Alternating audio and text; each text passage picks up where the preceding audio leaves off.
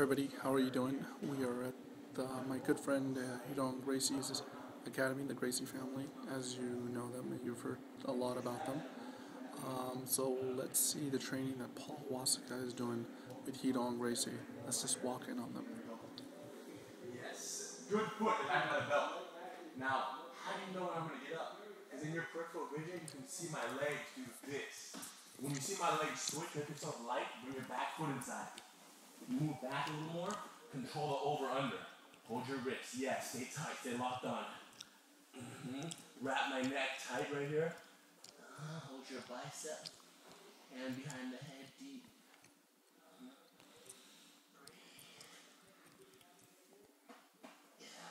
No thanks. That was great. Paul just tapped out here on Gracie. This is awesome. This.